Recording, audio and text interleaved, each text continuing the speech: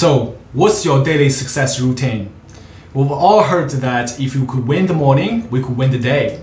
So some day could be really challenging and difficult. So after trying out several ways to plan my day, I came up with a daily routine that I will be sharing with you right now uh, in this video to give yourself a really good morning jump start. So this is my ideal day. I wake up at around about 5 a.m. and head to the gym at around about 5.45 and do my personal training for an hour, finish by around about 7 a.m. After having my shower, I begin my day and have a, some really nice meal in the morning. Usually contains avocado, uh, tomato, eggs, and milk.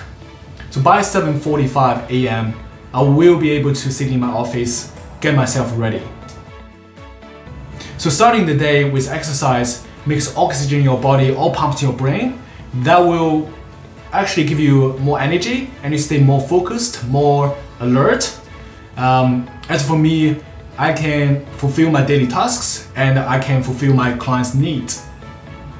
Before all my colleagues come in, I will usually get all my things ready, all my paperwork ready, all my to-do list, all my you know things I would like to achieve for the day ready. so me and my team knows exactly what we want to achieve for the day.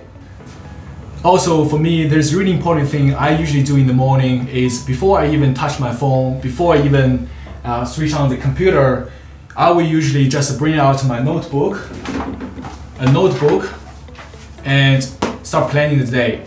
So basically, whatever I write on this notebook, it means if I nothing else has been achieved, only things on this notebook is done, I would be happy with the day. So you, that way you can really prioritize what do you need to write on this notebook. So from 9 o'clock, when everyone else walked in, some people usually feel tired and feel just wake up not feeling well, I will be ready. It's like launching pad, ready to go. I can smash out the phone calls, you know, call the clients, call the seller, call the buyers, and closing the deal.